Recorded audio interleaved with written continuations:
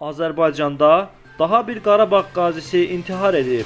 Kanal 13-ün verdiyi xəbərə görə, hadisə Daşkəsən rayonunun Pirverdilər kəndində baş verib. Kənd sakini, Vətən müharibəsi iştirakçısı 1990-cı il təvəllüdlü Həsənov Fərman Fərhadoğlu yaşadığı evdə özünü asaraq intihar edib. Onun intihardan öncə ailə üzvlərinə məktub yazdığı bildirilir.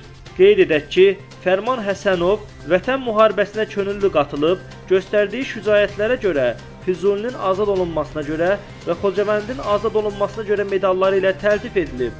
Xatırladaq ki, bu hadisədən öncə yanvarın 6-sında Qazi 1985-ci il təvəllüdlü Musayev Vüsal Eldaroğlu müalicə olunduğu Silahlı Qüvvələrin Baş Klinik Hospitalında özünü asaraq intihar etmişdi.